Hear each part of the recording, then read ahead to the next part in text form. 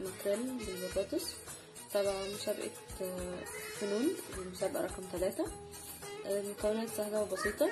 سمك ماكريل وشرايح بطاطس وفلفل طماطم وبصل وده خليط آه، زيت وثوم وملح وليمون ومية.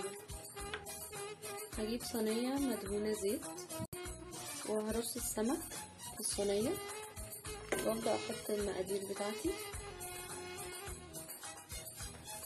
طبعا كل ده تبع قناة فنون مسابقة رقم ثلاثة الموضوع سهل زي ما حضراتكم شايفين.